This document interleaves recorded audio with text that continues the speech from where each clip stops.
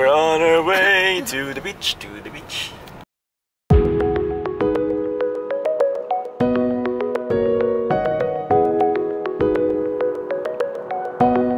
Ayan po na. May nakaharang na puno.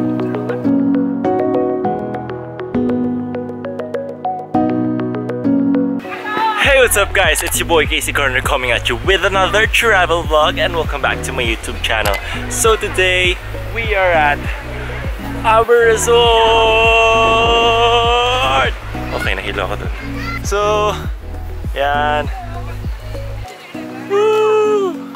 Welcome to our resort guys! Ito yung beach. Yan.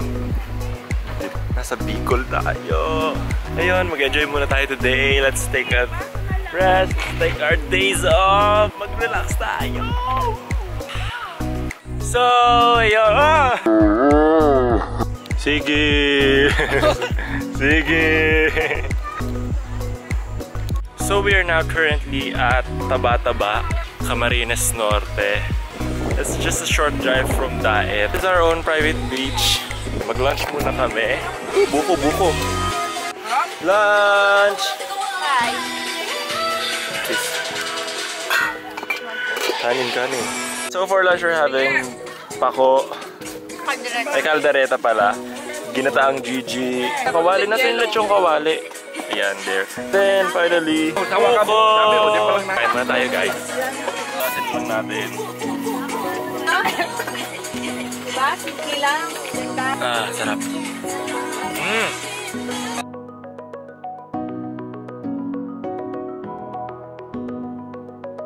So right now, meron ditong crabs.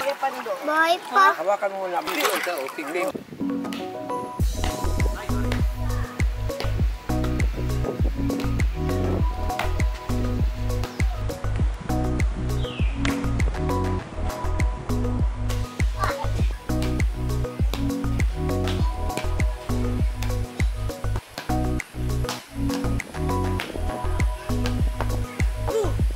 So, ayun, we're just playing volleyball around.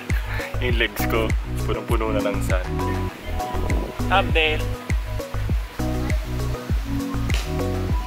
Umabot na bakit yung bola. So, mag build tayo ng tent.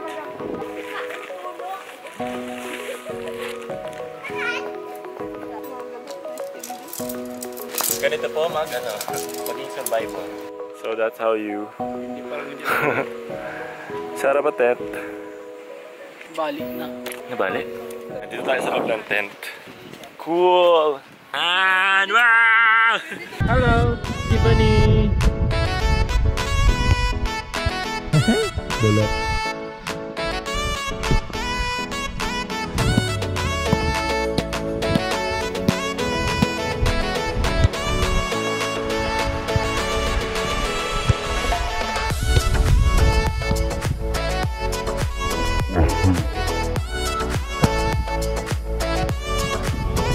Mo, layo mo.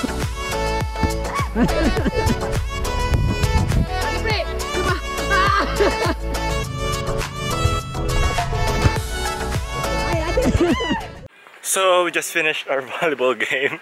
Very tiring. Sorry, panalo kami.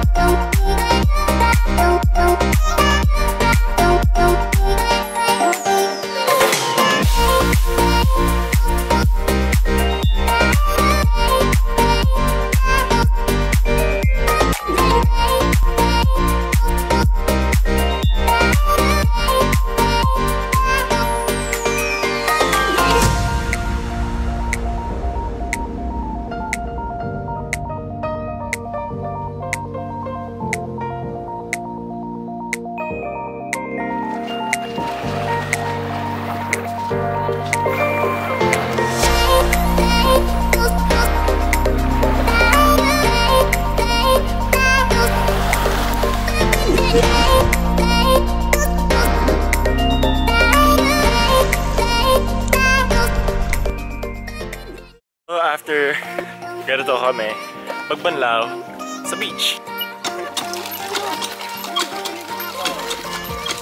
Ito, sariling sikat.